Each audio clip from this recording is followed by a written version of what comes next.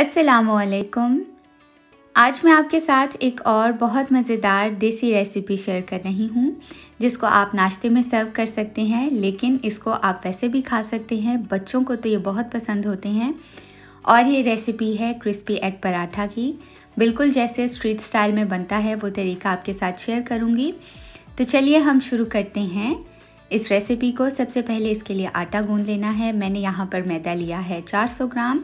एक चाय का चम्मच में डालूँगी इसमें नमक और एक खाने का चम्मच मैंने इसमें डाला है ऑयल ये डालने के बाद आपने इसको एक मरतबा मिक्स करना है हाथ की मदद से। और मिक्स कर लेने के बाद आपने अब इसको गूंदना है नीम गर्म पानी से। पानी आप इकट्ठा इसमें नहीं सारा डालेंगे। थोड़ा थोड़ा करके आप इसमें शामिल करते जाएँ और यूँ मिक्स करते जाएँ। और पानी आपने नीम गर्म ही इस्तेमाल करना है। इस तरीके से नरम आटा आपने गूंद लेना है। चार से पाँच मिनट इसको गूंदने के बाद अब मैं इसके ऊपर एक खाने का चम्मच वेजिटेबल ऑयल लगाऊँगी और इसको ढककर अब आपने रख देना है तकरीबन आधे घंटे के लिए। जब तक आप आधे घंटे के लिए आटे को रेस्ट देंगे, उतनी देर में हम इसकी जो हमने अंडा तैयार करना है मैंने यहाँ पर तीन अंडे लिए थे मीडियम साइज़ के। आप जितने इस्तेमाल करना चाहते हैं, आप कर सकते हैं अपनी ज़रूरत के हिसाब से।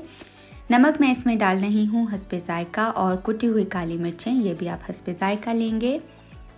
तकरीबन एक चौथाई चाय का चम्मच मैंने इसमें डाली है कुटी हुई लाल मिर्च, ये ऑप्शनल है। बारीक कटी हुई हरी मिर्च, ये भी मैं एक अदद ले रही हूँ। अगर आप ज़्यादा अंडे इस्तेमाल करेंगे तो आप इन सब की मकदार को ज़्यादा करते जाएँगे अपने टेस्ट के हिसाब से। एक खाने का चम्मच मैंने इसमें डाला है बारीक कटा हुआ हरा धनिया। और बस यही चीज़ें इसमें जानी थी। आपने इसको अच्छी तरह से मिक्स कर लेना है। एग का मिक्सचर तैयार हो चुका है। आटा भी तैयार है। अब आपने इसको, इसके आपने पेड़े बना लेने हैं। जितने साइज़ के आप पराठे बनाना चाहते हैं, उसके हिसाब से। पराठा थोड़ा सा मोटा ही बनता है, बहुत बारीक नहीं बनता। इस तरीके से आपने इसका पेड़ा बना लेना है। ये देखिए और पेड़ा बनाने के बाद अब मैंने इसके ऊपर थोड़ा सा मैदा लगाया है और मैं इसको बारीक बेल लूँगी, जैसे हम रोटी को बेलते हैं। इस स्टेज पे आपने इसको काफ़ी बारीक बेलना है और इतना बड़ा सा इसको होना चाहिए। अब मैं इसके ऊपर लगा रही हूँ पिघला हुआ मक्खन या आप घी भी इस्तेमाल कर सकते हैं। ब्रश की मदद से अच्छी तरह पूरी रोटी पे आपने लगाना है और इसके ऊपर आपने मैदा छिड़क देना है थोड़ा सा तकरीबन एक चाय का चम्मच। मैदा छिड़कने के बाद अब आपने इस तरीके से इसको फोल्ड करना है। बिल्कुल वही तरीका है जैसे हम लच्छा पराठा बनाते हैं। फोल्ड करने के बाद अब इसके ऊपर भी आपने पिघला हुआ मक्खन या घी लगा देना है और इस तरीके से अब आपने इसको रोल करना है। रोल करने के बाद आपने इसको ऊपर वाली साइड पे या जिस तरह भी आप चाहते हैं, आपने इसको सील कर देना है। पेड़े आप बनाकर तकरीबन 10 से 15 मिनट के लिए आप इनको ढक के छोड़ दीजिए और उसके बाद अब आपने इनको बनाना है। अब आप यहाँ पर या तो ऑयल या घी इस्तेमाल कर लें इसको बेलने के लिए या फिर आप मैदा इस्तेमाल कर लें। और इस स्टेज पर आपने इसको बहुत ज़्यादा बारीक नहीं बेलना, पराठा थोड़ा सा मोटा ही अच्छा लगता है, ज़्यादा क्रिस्पी हो जाता है। ये देखिए पराठे को मैंने बेल लिया है। अब यहाँ पर पैन को मैंने पहले से प्री हीट कर लिया था हाई फ्लेम पर और अब इस प्री हीटेड पैन में मैं इसको डाल दूँगी। हाई फ्लेम पर ही अब आपने इसको पकाना है। तकरीबन 10 से 15 सेकंड के लिए इसके बाद आपने इसकी साइड को चेंज कर देना है और दूसरी तरफ़ से भी आपने इसको 10 से 15 सेकंड के लिए पका लेना है। ये बहुत आसान तरीका मैं आपके साथ शेयर कर रही हूँ। इसी तरह से आपने सारे के सारे पराठे बेल कर, पहले आप बेलें, इनके पेड़े बनाए और दोबारा से बेल के आपने तवे पे इनको 15-15 सेकंड के लिए दोनों तरफ़ से सेक लेना है। और जितने आपको चाहिए आप उतने उसके हिसाब से तैयार करके रख सकते हैं। अगर आप ये तरीका करेंगे तो बहुत जल्दी और बहुत आसानी से बनते जाते हैं। सारे पराठे मैं इसी तरीके से मैंने बना लिए हैं। अभी मैं आपको दिखा देती हूँ कि ये किस तरह से लगेंगे। पराठे तैयार हो चुके हैं, आधे कच्चे हैं और आधे पक्के हैं।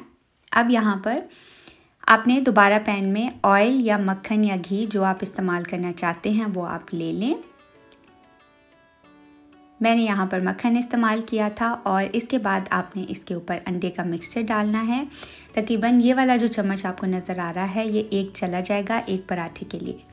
पूरे पैन पे आपने इसको फैला लेना है अपने पराठे के साइज़ के हिसाब से। और जो हमने पराठे सेक के रखे थे, ये अब आपने एक इसके ऊपर रख देना है और चम्मच की मदद से आपने इसको प्रेस करना है ऊपर से, ताकि जो अंडे का मिक्सचर है, वो पराठे के ऊपर चिपक जाए। और अब आप इसको फ्राई करेंगे मीडियम टू हाई फ्लेम पे, जब तक कि ये वाली जो नीचे वाली साइड है, इसकी क्रिस्पी हो जाए और इसके ऊपर एक अच्छा सा गोल्डन कलर आ जाए। चम्मच की मदद से आपने इसको प्रेस ज़रूर करना है। एक तरह से जब ये हो जाए तो अब आपने दोबारा से इसके ऊपर ब्रश करना है ऑयल घी या मक्खन, जो आप प्रेफर करते हैं, और आपने इसकी साइड को चेंज कर देना है।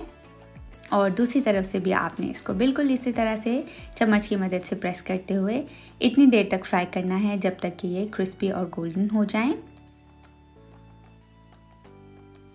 बहुत अच्छा सा एक कलर इनके ऊपर आ जाता है और चूँकि पहले हमने इसको बेल के, इसको लच्छे पराठा की तरह बनाया था तो इसके बहुत ज़बरदस्त बल आते हैं।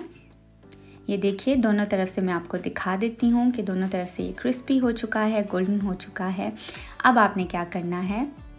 दोनों तरफ़ से जब ये हो जाए, आप इसको निकाल लीजिए और आप इसको सर्व कीजिए गर्मा गर्म मैं यहाँ पर आपको तोड़ के भी दिखा देती हूँ कि कितनी ज़बरदस्त इसकी लेयर्स आई हैं और ये कितना क्रिस्पी है। अगर आपको ये एक पराठा की रेसिपी अच्छी लगी है तो इसको लाइक और शेयर ज़रूर कीजिए। मेरे चैनल को सब्सक्राइब करें बेल आइकन को प्रेस करना मत भूलें वीडियो अपडेट्स के लिए और एक नई रेसिपी तक के लिए अल्लाह हाफिज़।